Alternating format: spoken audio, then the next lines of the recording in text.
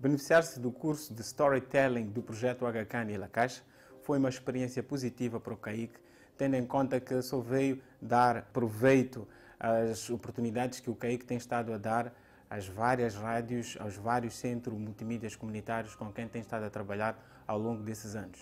Uh, principalmente a parte técnica, não é? Uh, que compõe a pré-produção e a produção.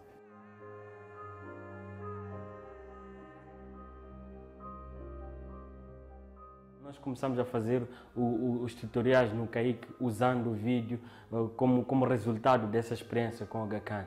E quando nós fomos a Jakarta e, e falamos que nós queríamos era uh, partilhar essa experiência de produção de pequenos pequenos vídeos a falar da questão de direito à informação. Então foi uma mais-valia porque eh, eles conseguiram perceber que, olha, nós iríamos fazer compilação de vídeos e depois íamos partilhar com, com as pessoas, mas sobretudo íamos uh, uh, partilhar com as pessoas a experiência de como é que elas podem se expressar para contar o seu dia a dia, isso como resultado do, do storytelling, como resultado do trabalho com a HK. Bom, eu considero que é uma oportunidade ímpar, tendo em conta que é uma ponte que pode ser usada para buscar histórias de sucesso e levar essas histórias de sucesso ao público em geral e principalmente para os seus parceiros e seus doadores, até para, obviamente, angariar fundos para a execução das suas atividades do dia a dia.